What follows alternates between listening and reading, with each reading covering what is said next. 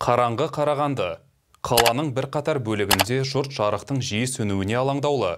Мәселе Қарағанды жарық жауапкершілігі шектеулі серіктестігі компаниясының жыл соңына дейін кабельдік желілерді қайта жасақтау жұмыстары туралы жариялағаннан кейін тіптен ушығып кеткен. Бұл жағдайда не істеу керек? Мәселенің шешімі бар ма?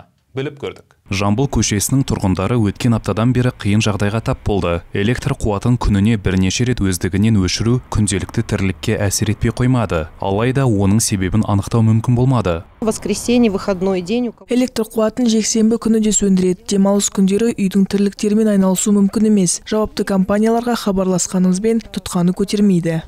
Қала орталығындағы көптеген үйлерде кеңселер әртүрлі қызмет көрсететін кәсіпорындар мен дүкендер бар. Олар да болған жағдайға байланысты жұмыстарын тоқтатуға мәжбүр. В течение этого месяца очень часто қараша айында тоқты жиі сөндірулер байқалады. Мұның барлығы жұмысқа әсер етеді. Қымбат жабдықтарымыз бар. Зияны келмесе екен дейміз.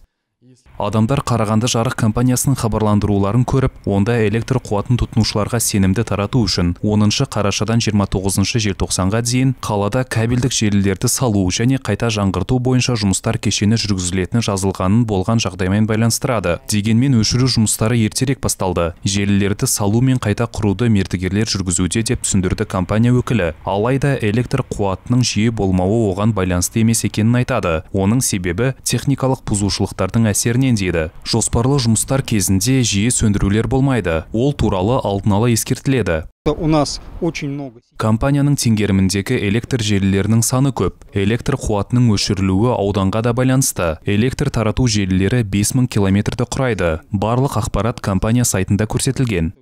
Электр қуатының түнгі мезгілде өшірілуі функционалды түрде қажет дейді.